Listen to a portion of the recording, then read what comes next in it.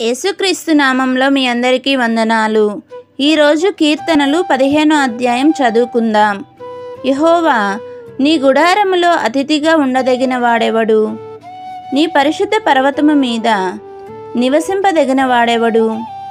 యథార్థమైన ప్రవర్తన కలిగి నీతిని అనుసరించుచు హృదయపూర్వకముగా నిజము పలుకువాడే. అట్టివాడు నాలుకతో కొండెమలాడడు. తన చెలికానికి కీడు చేయడు. తన పొరుగువాని మీద నింద మోపడు. అతని దృష్టికి నీచుడు అసహ్యుడు. అతడు యహోవయందు భయభక్తులు గలవారిని సన్మానించును. అతడు ప్రమాణము చేయగా నష్టము కలిగినను మాట తప్పడు.